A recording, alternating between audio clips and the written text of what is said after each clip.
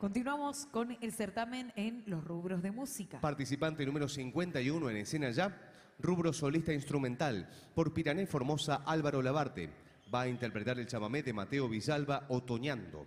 Sobre el escenario, participante 51, rubro solista instrumental, por Pirané Formosa Álvaro Labarte.